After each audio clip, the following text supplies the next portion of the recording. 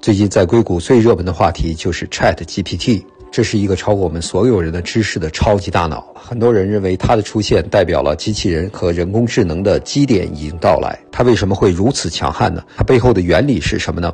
我是 Stanford 机器人庞博士，在硅谷给大家带来最新的科技和解读。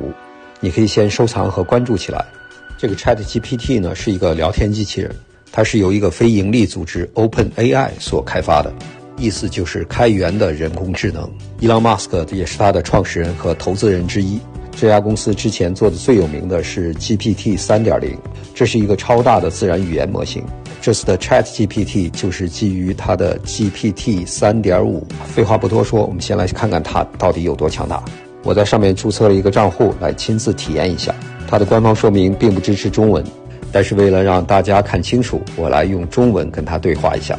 我先问他懂不懂中文，他说他懂中文。我再问他怎么改进我的英文，他的回答非常的顺畅，也非常的全面，完全看不出来是一个中文不好或者是一个机器人说的话。下面一个问题就比较有趣了，我问他对马云的评价怎么样，他说他只是个语言模型，没有办法对一个人做出评价。下面我就问他，我喜欢滑雪，那怎么能够改进我的这个刻画，也就是 carving？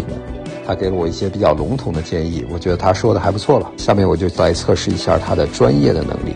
先问一下他懂不懂半导体光刻，没想到他还真懂，还解释的还不错。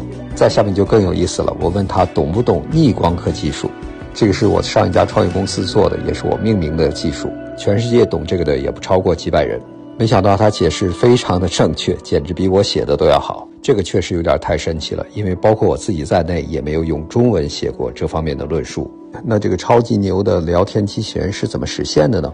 它实际上是通过三步来实现的。第一步呢，就是用一个可监督的模型来训练对话。